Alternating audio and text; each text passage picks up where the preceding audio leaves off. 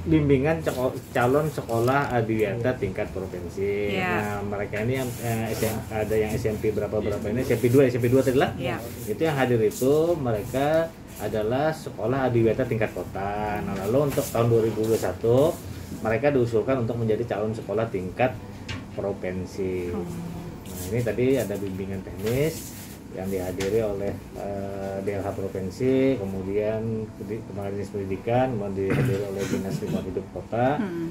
difasilitasi di SMP eh, 2.